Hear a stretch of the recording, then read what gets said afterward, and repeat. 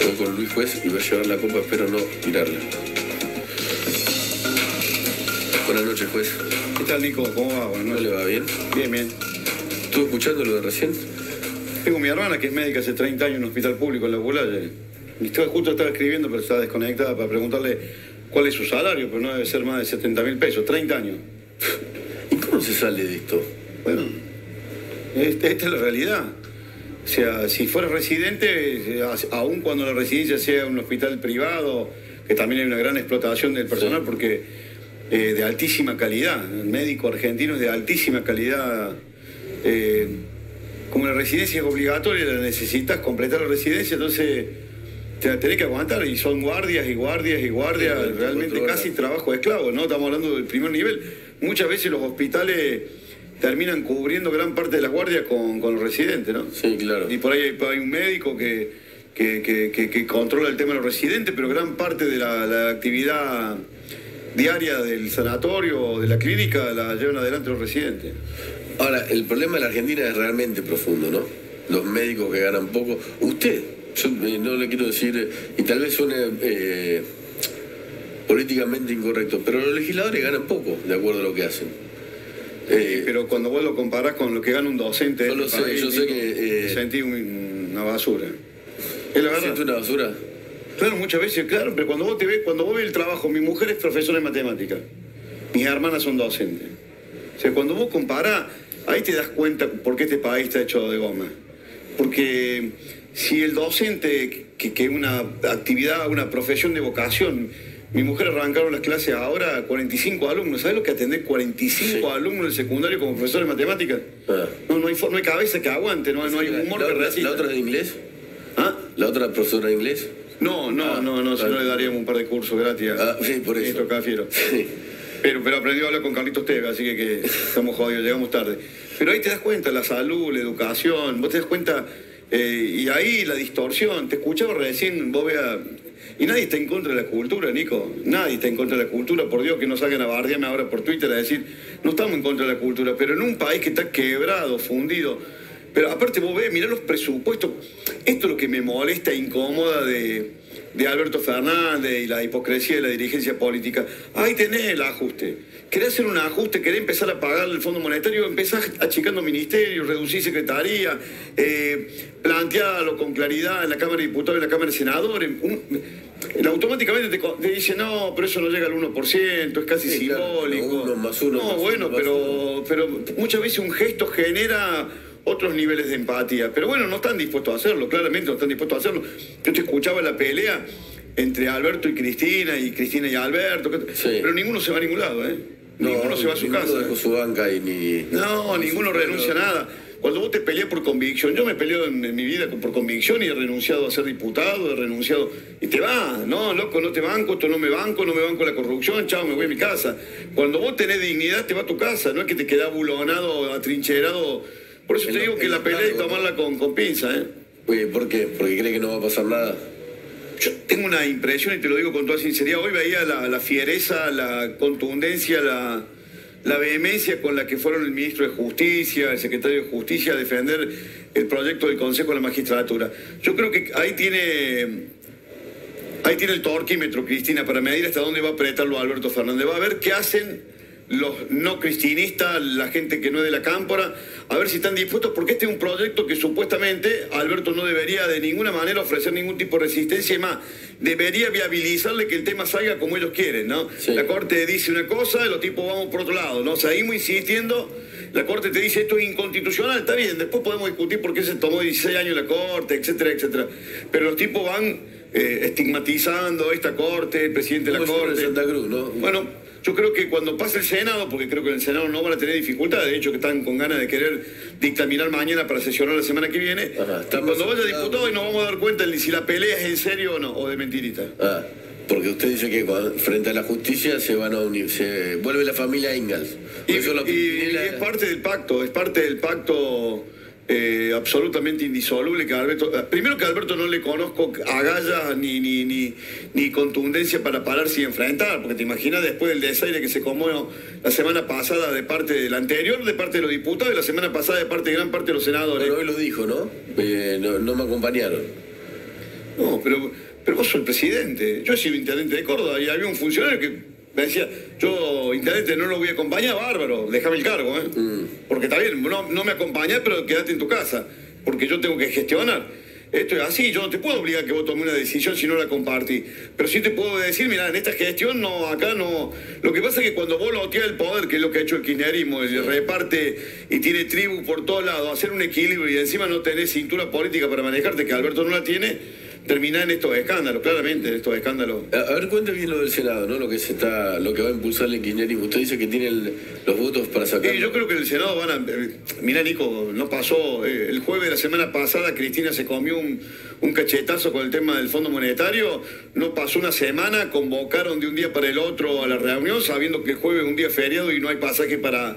Para, para, para, tipo, hoy, hoy hicieron algunos cambios de algunos senadores que estaban en la Comisión de Justicia, particularmente uno, que era la senadora Abdala, la esposa del, senado, del gobernador Zamora, la sacaron y entró una senadora hipercristinista ahí con... Sacaron a. a- es- y le hicieron un cambio, un error que eh, sobre la hora para, para No garantizarse el quórum. no iba a votar, entonces fue. No, no sé si no iba a votar. Lo cierto es que sentaron una senadora de probada militancia kirchnerista en la comisión. Hoy fue el ministro Soria. La verdad que no da- uno lo mira, lo escucha, escucha el nivel de fanatismo. Eh, Esto es por el Consejo de la Magistratura. Consejo de la Magistratura, ellos tienen una pelea, ellos, las definiciones son a partir de los problemas de Cristina, ese es el lugar donde Cristina em- manifiesta toda su empatía, cuando, le, cuando se tratan de los problemas de ella. Estaban todos, ¿eh? Estaban todos los senadores de la sacado, yo no sabía que la habían sacado a, la senadora Ledesma. Probablemente ella pidió el cambio, pero, pero fue eh, ah, eh, para constituir el quórum de la comisión. Eh, yo no tengo certeza de decir de que si por ahí decidió cambiarse, ir a otra comisión. Lo cierto es que hoy, hoy fue el ministro Soria con una serie de argumentos verdaderamente increíbles. Eh, vuelvo a El, el, repetir. con- el Consejo de la Magistratura maneja de alguna manera la Y justicia. claro, vos manejás el Consejo de la Magistratura, ahora, quitarle quitarle a, a- a- a la Corte la posibilidad de poder administrar su propio presupuesto, de poder administrar eh, eh, y administrar su, su, su- su- situación económica, eh, yo me, me pongo a pensar, pero aparte los tipos no entienden, Nico, el tema de la división de poderes. Ellos, ellos tienen que tener sometida la Corte, o sea, vos lo escuchás hablar al ministro y lo mirás y decís, pero este tipo, ¿dónde estudió?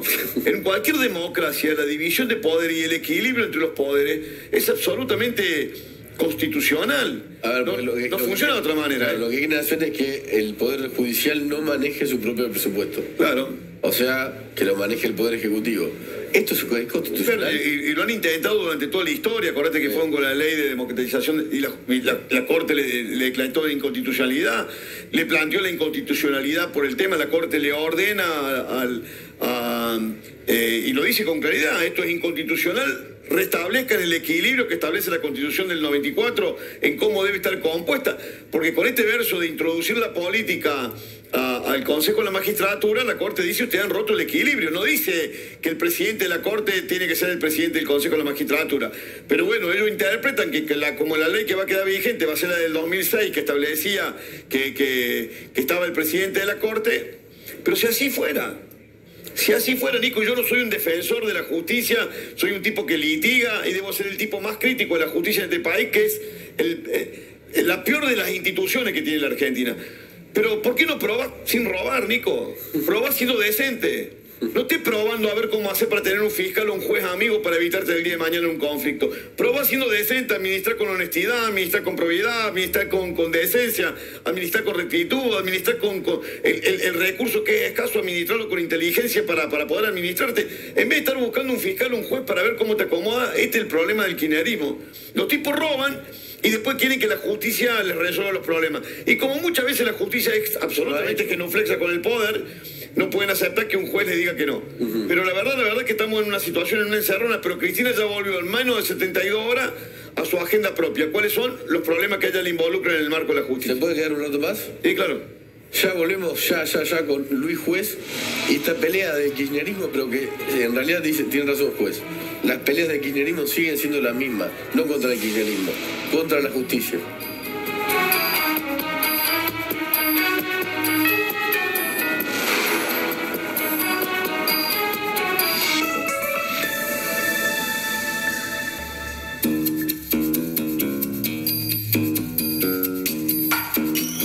Acá seguimos con Luis Juez y atención con esto, ¿no? Cristina sigue en su plan para ir contra la justicia y por lo que dice el juez tiene los votos en el Senado para eh, presentar su proyecto de ley sobre el Consejo de la Magistratura y la oposición no, después de la votación del FMI.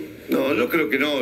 este es un tema del Consejo de la Magistratura, es un tema donde los senadores que responden a algunos gobernadores, yo no los veo poner las manos, no, no los veo inmolarse frente a Cristina. El otro día vos, vos quisieras ver el, temor, el pánico con el que expresaban su acompañamiento ah, al acuerdo. Sí, Cristina, Cristina impone pánico, te quiero decir, yo he sido senador en otra época, me tocó ser senador con Cobo y después me tocó ser senador con Vudú, he vivido esos dos vicepresidentes, Cobo eh, un presidente, un vicepresidente en su momento que le habían quitado absolutamente toda también podría asesorar a Alberto, ¿no? Como Scioli. También padeció, ¿no? Bueno. Pero, ¿y por qué impone miedo?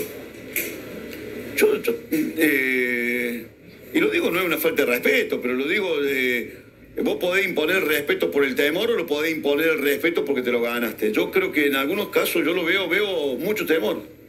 Eh, creo que hay amenazas que... No, no sé por dónde puede venir, pero hay una forma de conducción horrible, una, una forma de conducir eh, siempre en quinta fondo, con un nivel de celeridad, como si todo le incomodara, como si todo fuera, todo tiene que tener... Bueno, vamos a ver, casualmente yo creo que la semana que viene van a caer sesionar sobre el tema del Consejo de la Magistratura, y ese es un tema que Cristina, eh, el ABC1 de ella, ¿viste? Ahí tiene puesta toda su cabeza, toda su... Toda su, eh, toda su energía. Ella solamente baja cuando algún senador del círculo más íntimo de ella hace uso de la palabra. Bueno, pues este es un tema central para ella. Y, yo entiendo que ahí vamos a, vamos a ver a una verdadera presidenta del cuerpo ejerciendo su, conducción. Yo no veo que la vayan a desafiar. ¿eh? Mira, senadores que votaron a favor del Fondo Monetario del oficialismo, que en este tema la vayan a desafiar. Por lo menos lo que se percibe. ¿Usted cree que la, pelea es real o...? Es que Alberto no tiene autoridad para desafiar a la Cristina. Conoce su propia debilidad. ¿A partir de dónde se enanca Alberto para dar una pelea? Eh, hoy andaba haciendo malabarismo con la lengua para ver cómo decía que él no iba a llevar, que la pelea, que pum, que pan. Eh, el, poder se, ejerce, no se declama, decía el general. Y, y Alberto no lo ejerce el poder. Vos desde el momento que tenés la, mayoría de los funcionarios, vos recién mencionabas el tema de IPF. Sí. Vos tenés que se va a animar a moverlo González IPF. González ha sido vicegobernador de Santa Cruz, ha sido senador, es un tipo del riñón de Cristina. Según mi fuente, si hace algo, empieza por ahí. Bueno, bueno, probablemente, probablemente un tema que, expresa con claridad. Pero fíjate, hablamos de IPF, pero podemos ir al ANSES, podemos ir al PAMI, podemos ir a la aduana, podemos ir a la Oliña, podemos ir al AFI. son todos, Son todos en clave del kirchnerismo duro, ¿viste? O sea, eh, ¿cómo gobernás vos si el, 95% de todas las cajas que vos tenés como presidente le ejercen tipos que están desautorizados públicamente la semana pasada? ¿Y la oposición eh, tiene liderazgo? La oposición va a ir construyendo un liderazgo, claramente hay que aprovechar el tiempo eh, para prepararnos. Nosotros tenemos claro que si nos toca volver a gobernar dentro de dos años, la gente tiene que saber claramente qué vamos a hacer, cómo lo vamos a hacer y de qué manera. El tema de la, de la gestión, la gente no nos va a perdonar que nosotros no tengamos en claro qué queremos hacer de este país. Así que ese tema es un tema fundamental, ¿no? Gracias, Luis Juez. Bueno, gracias, Bonico. Suerte, mucha suerte. Muchas gracias. Último corte y después, Bella y Bestia.